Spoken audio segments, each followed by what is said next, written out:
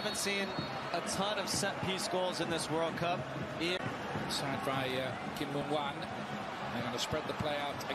Pretty niftily. He's getting a bit of support arriving. Goes the other way. And yeah, there's, uh, he's impeded. Jordan Ayew. Could be another one. It's his goal, I think. Unless Kudus got a little flick on it. He's claiming it. But it doesn't really matter. Ghana are two up.